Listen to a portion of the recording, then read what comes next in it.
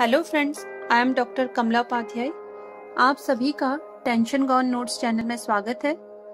अगर आपको हमारी ये वीडियो पसंद आए तो इसे लाइक करें, अन्य लोगों के साथ शेयर करें, और हमारी नई वीडियोस की जानकारी के लिए हमारे यूट्यूब चैनल को सब्सक्राइब करें। धन्यवाद।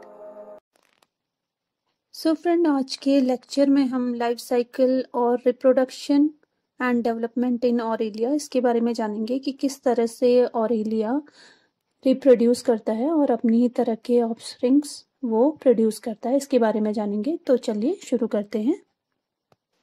फ्रेंड्स हम ऑरेलिया की लाइफ साइकिल को जाने। इसके पहले हम जो ऑरेलिया है, जिसे कि फाइलम सीलेंट्रेटा में रखा गया है और इसका जो जूलॉजिकल नेम है वो ऑरेलिया ऑरिता के बारे में यहाँ पे दिखाया गया है।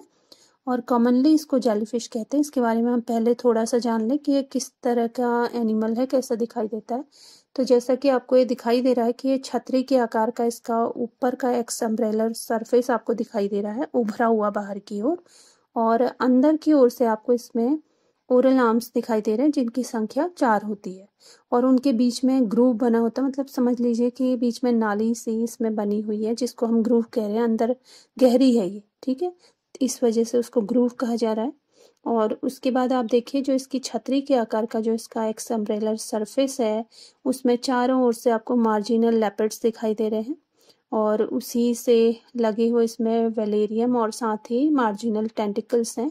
और अंदर की ओर आप देखेंगे इसमें गोनेट्स दिखाई दे रहे हैं। देखिए गोनेट्स की संख्या आपको चार दिखाई दे रही है इसमें और इन गोनेट्स से जुड़े हुए रेडियल कैनाल्स हैं।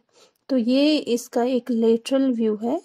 जिसे कि हम बोल रहे हैं जेलीफिश या ऑरेलिया फ्रेंड्स यहाँ पे आपको ऑरेलिया का वेंट्रल व्यू दिखाया गया है तो आप इसमें देख सकते हैं कि जो इसकी छतरी के आकार का जो इसका स्ट्रक्चर अभी हमने ऊपर देखा था, उसके अंदर की साइड से ये किस तरह का दिखाई देता है तो क्योंकि हम लोग इसकी लाइफ साइकिल पढ़ तो हम मेन इम्फेसिस इसके गोनेट्स पे रखेंगे कि किस तरह के इसके गोनेट्स हैं, उनकी पोजीशन कहाँ पे होती है।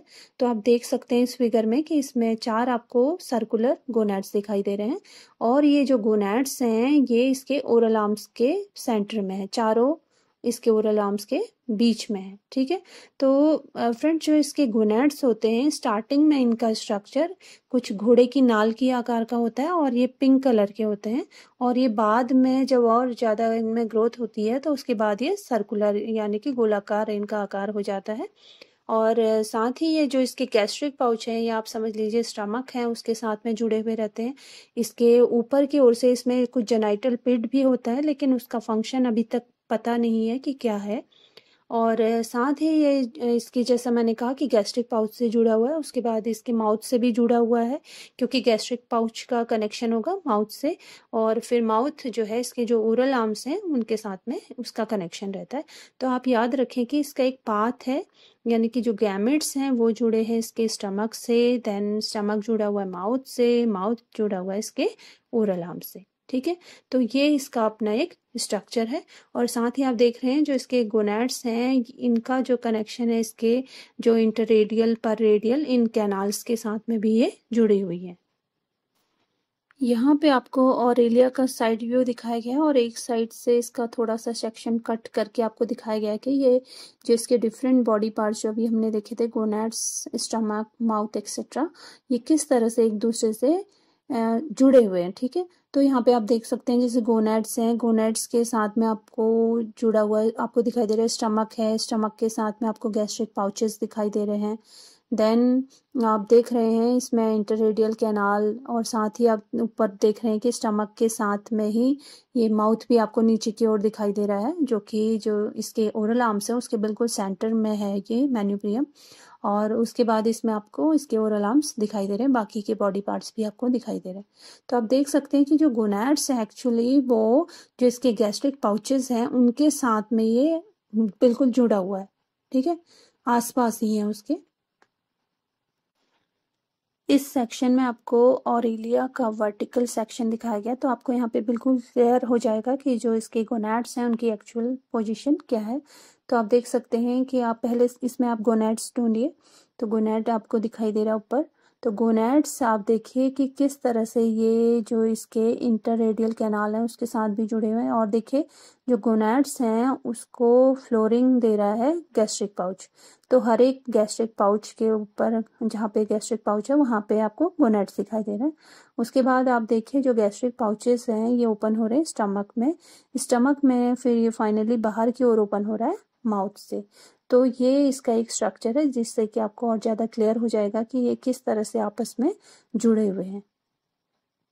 और आप देखिए कि जो इसका पूरा जो स्ट्रक्चर है, जितने भी अभी हमने, जितने भी स्ट्रक्चर्स की बात की, जैसे स्टमक और इसका गैस्ट्रिक पाउच है गोनैड्स है इंटररेडियल कैनाल एक्सेट्रा तो आप देखिए कि जो इसकी लाइनिंग है, वो एंडोडर्म की बनी हुई है, ठीक है? तो याद रखें, इसका ओरिजिन है एंडोडर्मलिन ओरिजिन चलिए अब रिप्रोडक्टिव सिस्टम के बारे में जान ले ऑरेलिया के। सो फ्रेंड ऑरेलिया एक डायोशियस एनिमल है। डायोशियस से मतलब है कि इसमें सेक्सेस सेपरेट होंगे। कहने का मतलब है कि जो ऑरेलिया है वो या तो मेल होगा या फिर फीमेल होगा तो इस वजह से हम उसे कह रहे हैं डायोशियस एनिमल और अगर हम इसके गोनेट्स की बात करते हैं तो गोनेट्स अब हमें पता ही है कितने हैं? चार। ठीक है? तो ये चार गोनेट्स जो हैं, उस पर्टिकुलर ऑरेलिया में या तो टेस्टिस होंगे या फिर ओवरी होंगी।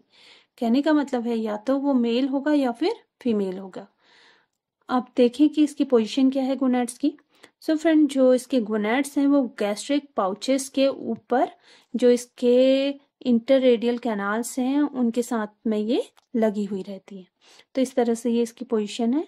और अगर हम इसका शेप देखें तो शेप और इसका कलर आप आप लोगों को पता ही है कि उसका शेप जो है हॉर्स शू शेप होगा, यानी कि घोड़े की नाल के आकार के। और जो बाद में सर्कुलर हो जाते हैं। और इनका कलर या तो रेडिश होगा या फिर पिंकिश होगा। और अगर हम इसके ओरिजिन की बात करें, इसके गोनेड्स की तो इनका ओरिजिन है एंडोडर्मल ठीक है? यानी कि जो इसके एंडोडर्म है, उससे इसके जो गोनेड्स हैं, वो बने हुए हैं। उसके बाद जब हम इसके जो सेक्स सेल या गैमिट्स के ओरिजिन की बात करते हैं तो ऑब्वियस है, वो भी एंडोडर्म से ही बने हुए हैं।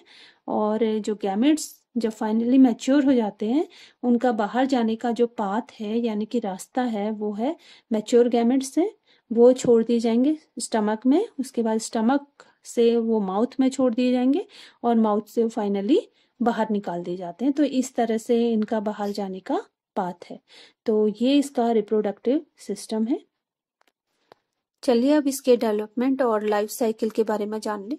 सो फ्रेंड इसके डेवलपमेंट या फिर लाइफ साइकिल को जानने के लिए हम इसको डिफरेंट टाइटल्स के फॉर्म में अगर हम जानेंगे तो हमें ज़्यादा इजी रहेगा। तो सबसे पहला जो स्टेप इसकी लाइफ साइकिल में आएगा वो है फर्टिलाइजेशन उसके बाद आएगा next step development and formation of planula larva third step रहेगा development and formation of scyphistoma from planula larva यानी कि प्लानुला लार्वा से स्काइफेस्टोमा का बनना। उसके बाद नेक्स्ट स्टेज में इफायरा लार्वा स्टेज आएगी इसकी और फाइनली फिफ्थ स्टेज में metamorphosis of ephyra into Aurelia यानी कि इफायरा मेटामॉर्फोसिस के बाद किस तरह से ऑरेलिया बनता है, इस तरह, वो स्टेप में हम जानेंगे। तो इसकी जो डिफरेंट डेवलपमेंट की स्टेप्स हैं, वो इस तरह से रहेंगे। चलिए देखें इसमें फर्टिलाइजेशन की प्रोसेस कैसे होती है। सो so फ्रेंड अब जैसा कि हमें पता है कि जो ऑरेलिया है, ये एक डायोशियस एनिमल है, यानी कि मेल और फीमेल गैमेट्स अलग अलग ऑरेलिया में बनेंगे। लेकिन इसमें एक खास बात है कि जब इसमें मेच्योर गैमेट्स बन चुके होते हैं तो उसमें जो मेल का जो गैमेट है, यानी कि जो उसके स्पर्म्स हैं, वो डायरेक्टली सी वाटर में छोड़ दिए जाते हैं। यानी कि वो मेल की बॉडी से निकल के उसके माउथ के ज़रिए वो पानी में बाहर आ जाते हैं और उस वाटर करंट के साथ ही वो किसी फीमेल जो मेड्यूसी है, उसके अंदर ये, उसके माउथ के थ्रू ये एंटर करते हैं। और जब ये किसी फीमेल और एलिया के अंदर उसके माउथ के ज़रिए पहुँच जाते हैं तो वहाँ पे जो उसके गैस्ट्रिक पाउच है, वहाँ पे ये उसके ओवा को फर्टिलाइज करते हैं। तो आप याद रखें कि जो ओवा है वो मेच्योर होने के बाद गैस्ट्रिक पाउचेस में ही रहेंगे और वहीं पे आकर के जो मेल स्पर्म है, वो मेल स्पर्म दूसरे जो ऑरेलिया है, वहाँ उससे आने के बाद, इसके माउथ के ज़रिए वहाँ पे आके गैस्ट्रिक पाउच में, वहाँ पे ये उसको फर्टिलाइज करता है। और इस तरह से जब उसमें जाइगोट का फॉर्मेशन हो जाता है, क्योंकि फर्टिलाइजेशन हो चुका है तो अब हम इसे कहेंगे जाइगोट तो इस जाइगोट जो है, उस फीमेल मेड्यूसी के माउथ से होते हुए बाहर निकलता है और फिर जो इसके ओरल आर्म्स है फीमेल्स के जो ओरल आर्म्स में ग्रूव बने हुए हैं, वहाँ पे जाके ये सेटल हो जाता है। और वहाँ पे ये अपने चारों ओर एक पाउच बना लेता है और उसके बाद जो इसका आगे का डेवलपमेंट है जहाँ पे कि आप देखेंगे कि क्लीवेज एक्सेट्रा तो वो फिर अब इसके जो ओरल आर्म्स हैं, उसके ग्रूव में ही जिसके अंदर इसने अपना एक पाउच बना लिया है और जिसके अंदर ये अपने आप को सेफ़ रखता है, उसके अंदर इसमें फर्दर डेवलपमेंट होता है। इस सेक्शन में आपको प्रोसेस ऑफ़ फर्टिलाइजेशन दिखाया गया है फ्लो चार्ट के माध्यम से, जो अभी हमने समझा तो यहाँ से आपको आसानी से समझ में आ जाएगा। तो जैसा कि मैंने आपको बताया कि जो मेल मेड्यूसी है, उससे मेच्योर स्पॉम्स सी वाटर के ज़रिए वाटर करंट के ज़रिए वो फीमेल मेड्यूसी में पहुँचेंगे और फीमेल मेड्यूसी में उसका जो माउथ है, उसके उसके थ्रू वाटर करंट के थ्रू उसके गैस्ट्रिक पाउच में पहुँचेंगे फीमेल के। वहाँ पे मेच्योर ओवा वहाँ पे इसे मिलते हैं, जहाँ पे कि ये फर्टिलाइजेशन होता है, या आप कह सकते हैं कि जो इसका फर्टिलाइजेशन है, वो इंटरनल होता है और गैस्ट्रिक पाउच के अंदर होता है। वहाँ पे जब फर्टिलाइजेशन हो जाएगा तो अब हम उसे कहेंगे जाइगोट तो जाइगोट जो है, ये फिर बाहर निकलेगा उसके गैस्ट्रिक पाउच से और बाहर निकलने के लिए वाटर करंट के साथ में इसके माउथ के ज़रिए ये जाइगोट बाहर निकल आता है और बाहर भी एकदम अभी पानी में ये नहीं तैरने लगता है। ये फिर उसी फीमेल मेड्यूसी के जो ओरल आर्म्स में, उसमें जो ग्रूव्स बने होते हैं, वहाँ पे जाके ये अपने आप को अटैच कर लेता है, वहाँ पे जाके ये उससे जुड़ जाता है, चिपक जाता है। और उसके बाद जो उसके ओरल आर्म्स में जो ग्रूव्स हैं, उनमें ये सबसे पहले अपने लिए एक पाउच क्रिएट करता है और उसके अंदर ये अपने आप को सेफ़ रखता है। और जहाँ पे कि इसके आगे के डेवलपमेंट यानी कि जो क्लीवेज हैं और उसके बाद जो उसकी मोरुला ब्लास्टूला एक्सेट्रा जो स्टेजेस हैं, फिर वो वहाँ पे आगे की प्रोसेसेस होती हैं। तो यहाँ पे आपको ये एक इजी वे में इसका फर्टिलाइजेशन की प्रोसेस यहाँ पे दिखाई गई है। चलिए अब इसके फर्टिलाइजेशन के बाद की जो नेक्स्ट स्टेप है development and formation of planula larva इसके बारे में देख लें। सो so फ्रेंड जैसे ही इसमें जाइगोट फॉर्म होता है, उसके बाद जब ये अपने आप को जो इसके ओरल ग्रूव हैं और एलिया के वहाँ पे सेटल कर लेता है तो उसमें फिर क्लिवेज स्टार्ट होती है। और क्लिवेज इसमें हमेशा होलोब्लास्टिक क्लिवेज रहेगा और अनइक्वल क्लीवेज रहेगा। होलोब्लास्टिक यानी कि जो जो एग है, वो पूरा का पूरा उसमें डिवीज़न होगा, ठीक है? सारे ही पार्ट्स में उसके डिवीज़न होगा और जो डिवीज़न होगा वो अनइक्वल होगा। कहने का मतलब है जो सेल्स बनेंगी, वो अनइक्वल साइज़ की बनेंगी। तो इस तरह से इसमें क्लीवेज होगा, उसके बाद फिर मोरूला की स्टेज मोरूला की स्टेज में इसमें बहुत सारे मल्टीपल इसमें सेल्स बन जाते हैं और एक मलबरी की तरह उस टाइम पे इसका स्ट्रक्चर दिखाई देता है। मलबरी जो एक फ्रूट है और इस स्टेज को हम कहेंगे मोरूला और उसके बाद मोरूला स्टेज के बाद ही अपनी ब्लास्टुला वाली स्टेज में जाएगा, जहाँ पे कि सेंटर में इसमें एक ब्लास्टोसिल, एक कैविटी बन जाती है और जो इसके सेल्स हैं, वो अपने आप को एक सिंगल लेयर में वो अपने आप को अरेंज कर लेते हैं। तो इस तरह से इस स्टेज को अब हम कहेंगे ब्लास्टुला स्टेज। इसके बाद नेक्स्ट जो स्टेज है, इसकी वो होगी गैस्ट्रुला, जिसमें कि इस ब्लास्टुला में इन्वेजिनेशन स्टार्ट होता है। इस दौरान ब्लास्टुला की सेल्स फोल्ड होकर एक डबल लेयर स्ट्रक्चर बना लेती हैं और इस स्टेज को आप हम कहेंगे गैस्ट्रुला स्टेज तो जो गैस्ट्रुला की स्टेज है, जिसमें कि इसमें एक फोल्डिंग सी हो जाती है तो फोल्डिंग होने के बाद जो बाहर की जो सेल्स होती हैं, वो एक्टोडर्म को रिप्रेजेंट करेंगी और जो अंदर वाली जो सेल्स हैं, इसकी अंदर की लेयर वाली जो सेल्स हैं, उन्हें हम कहेंगे कि ये एंडोडर्म को रिप्रेजेंट करती हैं, ठीक है? तो इसका मतलब है कि बाहर वाली सेल्स एक्टोडर्म बनाएँगी और अंदर वाली एंडोडर्म बनाएँगी। और इस तरह से ये एक जिस कैविटी के अंदर ये अपने आप को बंद रखती हैं, उसे हम कहेंगे सीलेंट्रॉन। और सीलेंट्रॉन इसमें बाहर की ओर एक अपर्चर से ओपन होता है, जिसे कहेंगे ब्लास्टोपोर। तो जब इन्वेजिनेशन स्टार्ट हो जाता है ब्लास्टूला में तो वहाँ से इसकी गैस्ट्रूला की स्टेज स्टार्ट हो जाती है और गैस्ट्रूला की स्टेज में फाइनली इसमें एक्टोडम एंडोडम, सीलेंट्रॉन और ब्लास्टोपोर ये बन चुके होते हैं।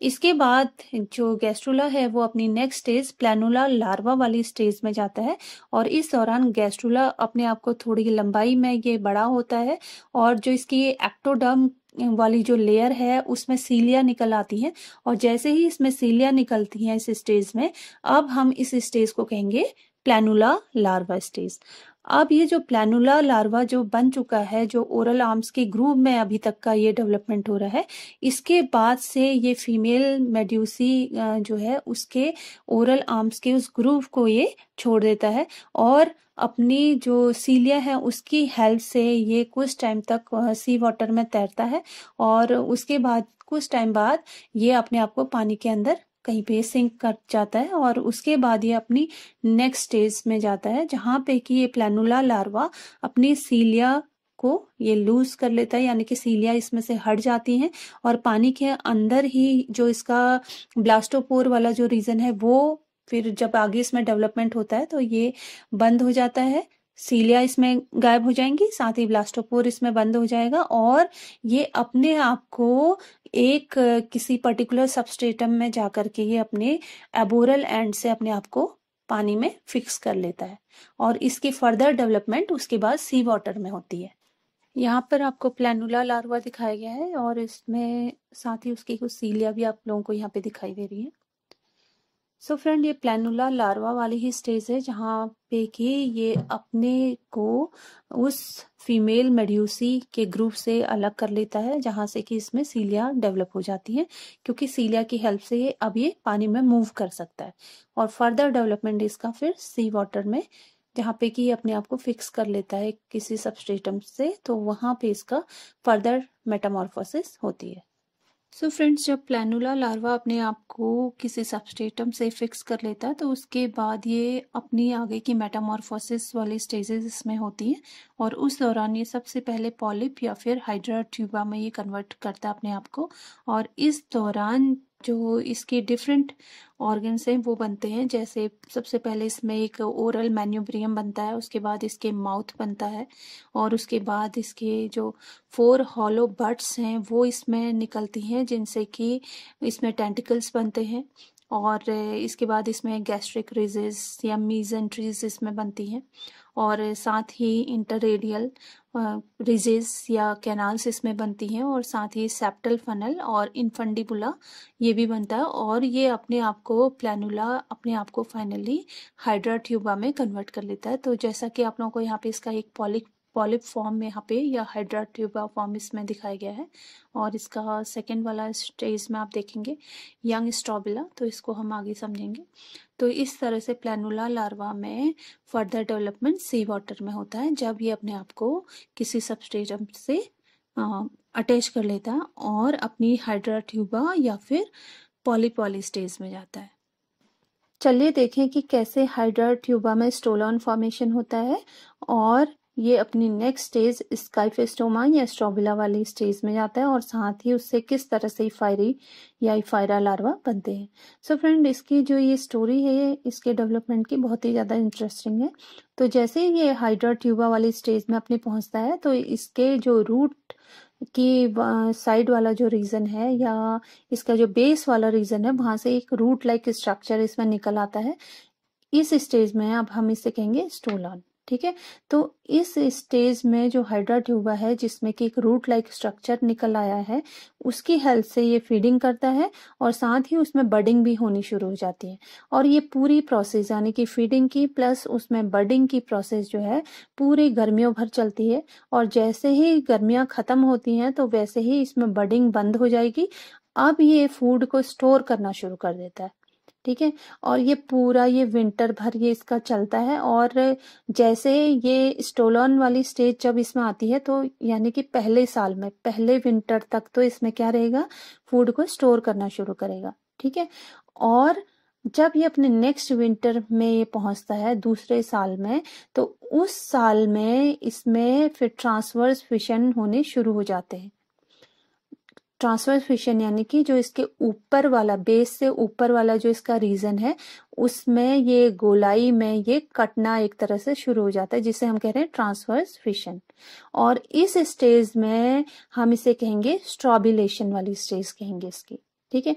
और इस स्टेज में जहाँ पे कि ये जो हाइड्रा ट्यूब है, अपने आप को डिवाइड कर रहा है इस स्टेज को ही हम कहते हैं स्काइफिस्टोमा और स्ट्रॉबिला स्टेज और जो इसकी जो हर एक जो ट्रांसवर्स डिस्क हैं या हर एक जो इसमें जो एन्यूलाई जो बन चुके हैं रिंग लाइक स्ट्रक्चर जो इसमें बन चुके होते हैं, सेगमेंट बन चुके होते हैं, उस सेगमेंट में, यानी कि हर एक सेगमेंट से एक इफायरा लार्वा बन सकता है। ठीक है? तो इसलिए हम इस स्टेज को कह रहे हैं स्काइफिस्टोमा और स्ट्रॉबिला स्टेज और जब ये अपने आप को इस स्ट्रॉबिला से हर एक सेगमेंट जब अपने आप को अलग करता है तो वो एक इंडिविजुअल इफायरा लार्वा में कन्वर्ट हो सकता है। सो so फ्रेंड जब ये अपने आप को इस काइफेस्टोमा से जब जो इसके सेगमेंट्स हैं वो अपने आप को अलग करते हैं तो सबसे पहले ऊपर टॉप मोस्ट वाला जो इफायरा है वो रिलीज़ होगा। तो क्योंकि वो रिलीज़ हो रहा है तो उस टाइम पे उसमें सोलह टेंटिकल्स उसमें रहते हैं और ये टेंटिकल्स जो हैं, ये एक तरह से गायब हो जाते हैं जब ये फायरा रिलीज़ होने वाले होते हैं और इसमें आठ लोब इसमें बन चुके होते हैं, साथ ही उसमें टेंटाक्लोसिस्ट भी हर एक लोब में बन जाता है और इस तरह से जब ये फायरा लार्वा जब ऊपर से जब ये रिलीज़ होते हैं तो उनमें किसी भी तरह के टेंटिकल नहीं होते हैं। तो इस बात को आप याद रखेंगे अब इसमें एक और इंटरेस्टिंग बात है कि जो इसका बेसल पार्ट है जहाँ पे कि स्ट्रॉबेला के बेसल पार्ट में जिसमें कि अभी तक कोई भी सेगमेंट नहीं है वो ग्रो करते हैं और उसमें फिर सेगमेंटेशन होगा उनमें टेंटिकल्स निक, निकलेंगे और साथ ही जो ये प्रोसेस है ये दोबारा से होनी शुरू होती है। ठीक है? और इस तरह से जो स्ट्रॉबेला जो है ये ऑरेलिया का ये कई सालों तक इस तरह से ज़िंदा रह सकता है, इस तरह से फीडिंग करता है और बडिंग के माध्यम से वो समर्स में अपना बडिंग की प्रोसेस करेगा और उसके बाद फिर अपनी वो स्काइफेस्टोमा वाली स्टेज में जाएगा जहाँ पे कि उसमें सेगमेंट्स बनते हैं और एक, हर एक सेगमेंट से इसमें फायरा लार्वा विंटर्स में रिलीज़ होते हैं, ठीक है? तो ये इसकी बड़ी इंटरेस्टिंग प्रोसेस है। तो आप सोच सकते हैं कि एक स्ट्रॉबिला से कितने सारे इसमें इफायरी बन सकते हैं। एक इफायरी का बनना मतलब कि एक ऑरेलिया का बनना। यहाँ पे आपको एक स्ट्रॉबिलेटेड स्काइफिस्टोमा आपको दिखाया गया है तो आप देख सकते हैं कि जो ये स्काइफिस्टोमा है, इसमें कई सारे सेगमेंट्स आपको दिखाई दे रहे हैं। ट्रांसवर्स डिस्क दिखाई दे रही हैं और उसमें लिखा हुआ है फ्यूचर इफायरी ठीक है? और नीचे से हॉरिजॉन्टल इसमें फिशन यानी कि लगातार इसमें डिवीज़न नीचे की ओर से होता जा रहा है। तो हर एक डिवीज़न का मतलब है फ्यूचर में बनने वाला एक इफायरा लार्वा और सबसे ऊपर आप देखेंगे टेंटिकल्स ठीक है? तो टेंटिकल्स जब ये तब गायब होंगे जब ये ऊपर वाला इफायरी रिलीज़ होने वाला होगा। इस तरह से हर एक सेगमेंट से एक इफायरा लार्वा बन सकता है और ये फाइनली फिर एक अडल्ट ऑरिलिया में ये अपने आप को कन्वर्ट कर सकता है। तो यहाँ पे ध्यान देने वाली बात यह है कि इसमें जो रिप्रोडक्शन हो रहा है, एक तो इसमें बडिंग के थ्रू हो रहा है, यानी कि स्ट्रॉबिलेशन के थ्रू हो रहा है ठीक है? बर्डिंग हो रही है, फिर उसके बाद इसमें फिर ट्रांसफ़र फिशन हो रहे हैं और फाइनली ये अपने आप को एक इंडिविजुअल इफायरा में भी कन्वर्ट कर ले रहा है, ठीक है? तो दो तरह से, एक तो इफायरा के ज़रिए जब ये फाइनली अपने आप को अडल्ट ऑरेलिया में जब ये अपने आप को कन्वर्ट करेगा तो उस माध्यम से ये सेक्सुअल रिप्रोडक्शन की प्रोसेस को शो कर रहा है। और दूसरी तरफ़ जो इसका, जो ये बर्डिंग वाला प्रोसेस है, ये ए सेक्शुअल मीडियम के थ्रू रिप्रोड्यूस कर रहा है, ठीक है? तो इस तरह से इसमें कई ब्रांचेस में ऐसी बनती रहेंगी बर्ड्स निकलते रहते हैं, जो हाइड्रा ट्यूबा वाली स्टेज से उसमें फिर स्टोलन उसमें फॉर्मेशन होगा देन उसमें स्काइफिस्टोमा वाली स्टेज उसके बाद ये फायरा में कन्वर्ट होगा और अपने आप को इस तरह से अपनी रिप्रोडक्शन की प्रोसेस अपना जारी रखेगा। ठीक है? तो आपने यहाँ पे एक और बात ध्यान देने वाली है कि जिस तरह से ये अपने आप को रिप्रोड्यूस कर रहा है, यानी कि जब ये अपनी स्काइफिस्टोमा वाली स्टेज में जब तक ये पहुँच रहा है तो यहाँ तक पहुँचने के लिए के लिए ये अपना सेक्सुअल रिप्रोडक्शन वाली प्रोसेस के थ्रू पहुँच रहा है, ठीक है? लेकिन यहाँ से जब इसमें रिप्रोडक्शन हो रहा है तो एक तरह से ए सेक्शुअल हो रहा है, साथ ही ये जो सेक्शुअल रिप्रोडक्शन वाले जो पार्ट्स हैं या उस तरह की जो इंडिविजुअल है, वो भी यहाँ से बना रहा है। ठीक है? तो इस बात को अपने ध्यान में रखना है। यहाँ पे आपको ये फायरल लार्वा का स्ट्रक्चर दिखाया गया तो आप देख सकते हैं कि ये इसका वो स्टेज है जिससे कि एक यंग मेडिसोइड ऑरेलिया बन सकता है और इस स्टेज में इसमें आठ नोज्ड लोब्स हैं, यानी कि बीच में से देखो, अंदर की ओर को उभरे हुए, और आठ हैं ये आप काउंट करेंगे जो इसकी ब्रांचेस से निकली हुई है। और साथ ही इसमें अलग अलग इसके बॉडी पार्ट्स भी यहाँ पे बन चुके होते हैं, और पर रेडियल इंटर रेडियल कैनाल्स भी इसमें दिखाई दे रही है। तो इस स्टेज को हम कहेंगे इफायरा लार्वा स्टेज। यहाँ पे आपको स्ट्रॉबिला या स्काइफिस्टोमा स्टेज और साथ ही फायरा लार्वा स्टेज एक साथ ही दिखाई गई है। तो आप देख सकते हैं कि हर एक सेगमेंट से, यानी कि स्काइफिस्टोमा के हर एक सेगमेंट से एक ही फायरा लार्वा बन सकता है। और ये ephyra larva finally adult Aurelia या मेडिसोइड फॉर्म में कन्वर्ट हो सकता है, जहाँ पे कि इसमें गैमेट्स बनते हैं और गैमेट्स बनने का मतलब है कि इसमें सेक्सुअल रिप्रोडक्शन हो रहा है।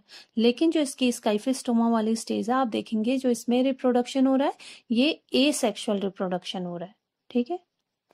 यहाँ पे आपको यंग स्काइफिस्टोमा आपको दिखाया गया है तो आप फिगर ए में देखेंगे कि जो यंग स्काइफिस्टोमा है, जो बड़ा स्ट्रक्चर है, इसमें आपको एक माउथ दिखाई दे रहा है, साथ ही टेंटिकल्स गैस्ट्रिक रेजिस ये आपको दिखाई दे रहे हैं, और इसके बेस पे आप देखेंगे स्टोलॉन जो कि एक रूट लाइक स्ट्रक्चर है, जिसकी हेल्प से फ़ीड करता है, ठीक है? और साथ ही इसमें एक बर्ड भी दिखाई दे रही है। तो इस तरह से जो इसका स्काइफिस्टोमा वाली स्टेज है इसमें ये बर्डिंग की हेल्प से ये ए सेक्चुअली रिप्रोड्यूस कर रहा है। लेकिन जब इसमें ट्रांसवर्स फिशन होते हैं, जिसमें कि ये फायरा बनाना शुरू करता है, अपनी स्ट्रॉबिला वाली स्टेज में पहुँचता है तो उस तरह से फिर ये अपने जो इसका मेडिसॉइड फॉर्म है, उनको जन्म देता है। तो ये मेडिसॉइड फॉर्म आगे जाके सेक्सुअली रिप्रोड्यूस करते हैं।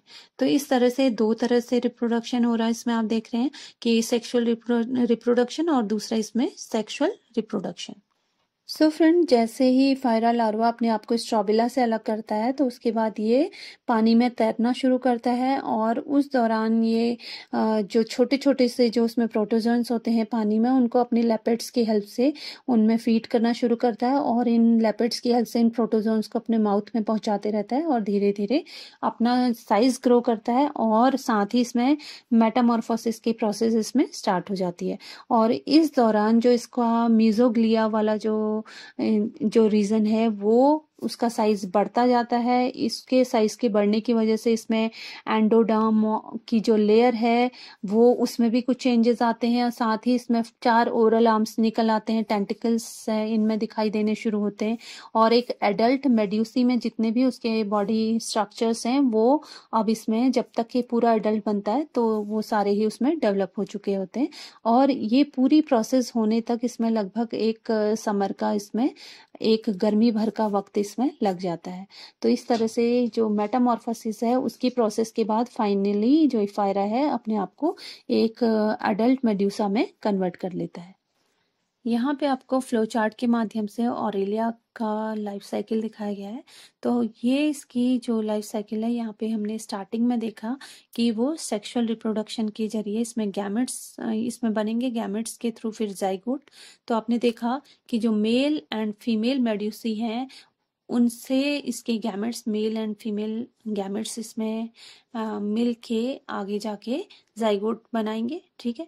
जाइगोट से फिर जाइगोट अपना नेक्स्ट स्टेज प्लानुला लार्वा वाले स्टेज में पहुँचता है और प्लानुला लार्वा वाले स्टेज के बाद ये नेक्स्ट पहुंचेगा अपनी हाइड्रोट्यूबा स्टेज में, जहाँ से कि ये स्काइफिस्टोमा या स्ट्रॉबिला वाले स्टेज में पहुँचता है और फिर स्काइफिस्टोमा से इसमें फायरी बनते हैं फायरा लार्वा और ये फायरा लार्वा फाइनली अपने आप को एडल्ट मेड्यूसी में कन्वर्ट करते हैं। तो ये मेड्यूसी या तो मेल हो सकते हैं या फिर फीमेल हो सकते हैं।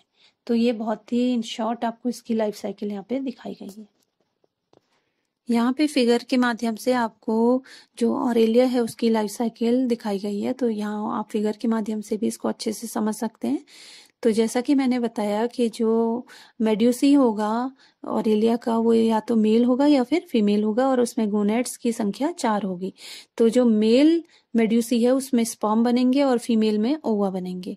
तो मेल मेड्यूसी जिसमें कि स्पॉम बने हैं, वो sperms mature sperms sea water में उसके रिलीज़ कर दिए जाएँगे, इसके माउथ के ज़रिए। और उसके बाद फिर ये तैरते हुए फीमेल मेड्यूसी में उसके माउथ के ज़रिए ये उसके गैस्ट्रिक पाउच में पहुँचते हैं, जहाँ पे कि मेच्योर ओवर रहते हैं और वहीं पे इसमें इंटरनल फर्टिलाइजेशन होगा। और फर्टिलाइजेशन के बाद जब इसमें जाइगोड बन जाता है तो वो जो जाइगोट है, वो इसके माउथ के माध्यम से फिर इसके जो ओरल ग्रूव हैं, वहाँ पे ये पहुँचेंगे। और ओरल ग्रूव में ये उसके ग्रूव में ही जाके सबसे पहले अपने लिए एक पाउच क्रिएट करते हैं और उसमें ये सेटल हो जाते हैं। ठीक है? और वहाँ पे सेटल होने के बाद इनमें फर्दर जो डेवलपमेंट है, वो वहीं पे होगी इसके ग्रुप में। और वहाँ पे फिर इसमें क्लीवेज होगा। क्लीवेज होलोब्लास्टिक रहेगा। और होलोब्लास्टिक क्लीवेज के बाद इसमें two cell four cell stage और इस तरह से फिर ये अपनी मोरूला के स्टेज में जाता है देन ब्लास्टुला की स्टेज में।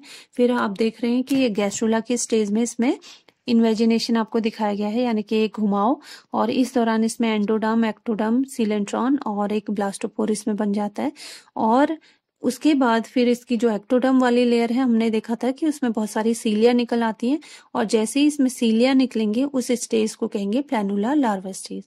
आप ये प्लानुला लार्वा, जो कि थर्ड में लिखा हुआ है, यहाँ पे थर्ड में दिखाया गया है, इस स्टेज के बाद ये उस फीमेल के ओरल आर्म के ग्रूव से निकल आता है, और इन सीलिया की हेल्प से ये पानी में तैरना शुरू करता है। और कुछ टाइम तैरने के बाद ये फिर पानी में सिंक कर जाता है, पानी में नीचे बैठ जाता है और किसी सबस्टेटम से अपने जो इसका एबोरल एंड है, उसके साइड से ये उसमें चिपक जाता है और फिर इसमें फर्दर डेवलपमेंट होता है। और फर्दर डेवलपमेंट के दौरान इसमें इलांगेशन होगा पहले, ठीक है? और उसके साथ ही साथ फिर ये अपना पॉलिप फॉर्म में ये अपने आप को कन्वर्ट करता है। और फिर हमने देखा ये अपनी हाइड्रा ट्यूबा वाली स्टेज में जाएगा। हाइड्रा ट्यूबा की स्टेज में फिर इस, हमने देखा कि इसमें नीचे से इसमें स्टोलॉन बन जाता है। ठीक है, स्टोलन हम उसे कह रहे हैं जहाँ पे कि इसमें एक रूट लाइक स्ट्रक्चर बन जाता है और फिर साथ ही ये फीडिंग करना शुरू करता है और उस स्टोलन में फिर बडिंग होती है और फिर धीरे धीरे ये स्ट्रॉबिला वाले स्टेज में पहुँचता है जहाँ पे कि अब हम इसे कहेंगे स्काइफिस्टोमा यानी कि इसमें सेगमेंटेशन स्टार्ट होता है और इस, इसका सेगमेंटेशन जो विंटर्स है, यानी कि दूसरा जो विंटर होगा इसकी लाइफ में, उसमें इसमें ट्रांसवर्स फिशन होने शुरू होते हैं और हर एक सेगमेंट से एक ही फायरा बनना शुरू होता है, ठीक है? हर एक सेगमेंट से एक इफायरा बन सकता है। तो कई सारे इसमें सेगमेंट्स होते हैं तो उतने इसमें फायरी बनते हैं और ये इफायरी फिर इसकी बॉडी से, यानी कि स्ट्रॉबिला से अलग होकर के अपने आप को फाइनली एक मेडिसॉइड फॉर्म में ही अपने आप को कन्वर्ट कर लेते हैं, जहाँ से कि फिर से इसमें सेक्शुअल रिप्रोडक्शन की प्रोसेस शुरू होती है। ठीक है? तो इस तरह से हमने देखा कि जो इसकी सेक्सुअल रिप्रोडक्शन की जो प्रोसेस है, वो स्टार्ट हुई दो अलग अलग मेड्यूसी से, जिनमें गैमेट्स बने दो अलग अलग तरह के और फिर जाइगोड बना। इस तरह से इसमें आगे का इसमें फिर ब्लास्टुला और उसके बाद गैस्ट्रुला देन इसका जो प्लानुला लार्वा वाली स्टेज है वो बना और फिर इसमें हमने देखा पॉलिप बने और उससे वहाँ, जहाँ से इसमें पॉलिप बनने शुरू हुए तो उसके बाद हमने देखा इसमें बडिंग स्टार्ट हुई, जो कि इसका asexual form of reproduction को शो करता है। और जो asexual form of reproduction है, उसी से इसके जो मेडिसोइड फॉर्म है, यानी कि सेक्शुअल इसका जो पार्ट है, या सेक्शुअल सेक्शुअली रिप्रोड्यूसिंग जो ऑरेलिया है, वो इससे प्रोड्यूस हो रहे हैं। तो ये इसकी लाइफ साइकिल में बहुत ही ज़्यादा इंटरेस्टिंग बात है। सो so फ्रेंड ये तो थी इसकी लाइफ साइकिल ठीक है? अब इसमें मैं बार बार आप लोगों को एक चीज़, आप लोगों को याद दिलाना चाह रही हूँ, या या आप लोगों को इसके बारे में आप लोगों को मैं बार बार बता रही थी कि कहाँ से इसकी लाइफ साइकिल स्टार्ट हुई। यानी कि जो ऑरेलिया है, इसकी जो लाइफ साइकिल है या life history sexual medusoid form से शुरू होती है। ठीक है? और ये सेक्शुअल मेड्यूसर्ट फॉर्म आगे इसमें चेंजेस आने के बाद ये ए सेक्शुअल पॉलीपॉइड फॉर्म यानी कि स्काइफोस्टोमा वाली फॉर्म में ये कन्वर्ट होता है, ठीक है? तो इस तरह से जो इसकी लाइफ साइकिल चली उससे हम कहेंगे वो, या वो शो करती है अल्टरनेशन ऑफ़ जनरेशन की फिनोमिना को, ठीक है? उसकी प्रोसेस को ये शो कर रहा है। क्योंकि जो इसका फ्री स्विमिंग जो इसका ऑरेलिया वाला फॉर्म है, वो इसके मेड्यूसाइड फॉर्म या फिर इसके सेक्सुअल जनरेशन को रिप्रेजेंट कर रहा है। और जहाँ पे कि इसमें गैमेट्स बनते हैं, और इन गैमेट्स से फिर आगे ये फर्टिलाइजेशन के बाद जाइगोट में कन्वर्ट होंगे, और ये जाइगोट डेवलप होने के बाद अपने पॉलीपॉइड फॉर्म यानी कि स्काइफेस्टोमा वाली स्टेज में ये जाता है। और इस स्टेज में जाने के पहले ये प्लानुला लार्वा यानी कि जो इसकी फ्री स्विमिंग स्टेज है, उससे ये अपने पॉलीपॉइड फॉर्म यानी कि स्काइफेस्टोमा वाली स्टेज में ये अपने आप को कन्वर्ट करता है। तो इस तरह से जो इसका पॉलीपॉइड फॉर्म है, स्काइफेस्टोमा का, वो रिप्रेजेंट करेगा सेक्सुअल जनरेशन को, जबकि जो स्काइफेस्टोमा है, वो बाद में आगे जाके फिर वो ए सेक्सुअली यानी कि बर्डिंग के थ्रू या फिशन के थ्रू वो रिप्रोड्यूस करता है। तो इस वजह से इसकी जो जनरेशन है या सॉरी जो इसकी लाइफ हिस्ट्री है, उसे हम कह रहे हैं कि ये शो कर रहा है अल्टरनेशन ऑफ़ जनरेशन के फिनोमिना को। और फ्रेंड्स जो इसके अल्टरनेशन ऑफ़ जनरेशन जिसे हम कह रहे हैं वो साइंटिस्ट के अकॉर्डिंग वो अल्टरनेशन ऑफ़ जनरेशन नहीं है, उसे उन्होंने बोला प्रोलॉन्ग मेटामॉर्फोसिस ठीक है? तो उनका कहना है कि जो ऑरेलिया है, वो अल्टरनेशन ऑफ़ जनरेशन शो नहीं करता है, वो शो करता है प्रोलॉन्ग एक लंबी मेटामॉर्फोसिस की प्रक्रिया को, ठीक है? तो उसके लिए उन्होंने दो रीजन दिए कि क्यों इसे प्रोलॉन्ग मेटामॉर्फोसिस कहेंगे। तो उसके लिए उन्होंने बोला कि जो इसका मेडिसॉइड फॉर्म है, यानी कि जो इसका सेक्सुअल रिप्रोड्यूसिंग फॉर्म है, वो इसके इफायरा लार्वा में मेटामॉर्फोसिस की वजह से से वो स्टेज आ रही है, ठीक है? न कि जो इसका पॉलीपॉइड स्टेज यानी कि जो स्काइफिस्टोमा वाला फॉर्म है, उसमें मेटामॉर्फोसिस की वजह से नहीं आई है वो स्टेज वो स्टेज जब उससे इफायरा बाहर रिलीज़ हो गए तो इफायरा में मेटामॉर्फोसिस होने की वजह से मेडिसाइड फॉर्म बने हैं। उनका एक ये रीजन है। दूसरा उन्होंने बोला कि जो इसका पॉलीपॉइड फ़ेज़ है स्काइफिस्टोमा का, उसका साइज़ बहुत ही ज़्यादा वो रिड्यूस कर जाता है, क्योंकि जो उसमें बडिंग होती है और साथ ही जो इसमें कई बार उसमें जो फिशन होते हैं, यानी कि जो इसमें डिवीज़न हो रहे हैं ट्रांसफर्स डिवीज़न तो इस वजह से जो इसका साइज़ रिड्यूस हो जा रहा है तो इस स्टेज को बेटर है कि हम इसे एक अल्टरनेशन ऑफ़ जनरेशन की प्रोसेस कहें। उससे बेटर रहेगा कि इसको प्रोलॉन्ग मेटामॉर्फोसिस की स्टेज कहें तो वो ज़्यादा बेस्ट रहेगा ऑरेलिया के लिए। सो so फ्रेंड्स आज के लेक्चर में इतना ही। मैं आशा करती हूँ कि आपको ये लेक्चर अच्छे से क्लियर हुआ होगा। और इसकी जो ऑरेलिया की जो लाइफ साइकिल है, काफ़ी कुछ ओबेलिया से मिलती जुलती है। तो मैं आशा करती हूँ कि अगर आपको ओबेलिया की लाइफ साइकिल अच्छे से क्लियर हो गई है तो ऑरेलिया को समझने में आपको बिल्कुल भी परेशानी नहीं होगी और अगर आपको फिर भी समझ में नहीं आती तो आप कई बार इसको सुन सकते हैं, कई बार इसको पढ़ सकते हैं। तो इसी आशा के साथ कि आप लोग अपनी स्टडीज़ में बहुत बेस्ट करेंगे और मुझे लिख के ज़रूर बताएँगे। Thank you.